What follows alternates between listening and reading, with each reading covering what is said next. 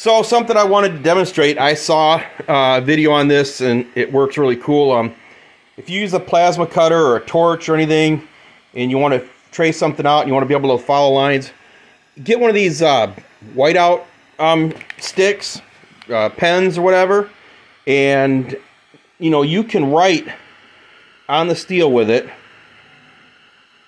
Okay, follow a pattern or whatever you're going to do. Okay, and uh, then you know if you take a torch and yeah, here's a torch propane torch um, and it's not a cutting torch but the same principle. You can heat this stuff up and it does not burn. It doesn't go away. So you can follow your line as you're cutting and it doesn't burn away it doesn't disappear. So thought that was really cool. Um, you know and you can pick up those uh, for like, I bought a two pack for like $4.50.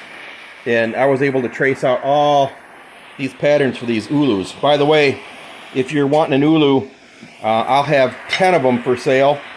And uh, contact me and we can get you hooked up. But yeah, isn't this cool? Stuff does not burn. They'll probably be making food out of it soon. Anyway, hope you have a great day.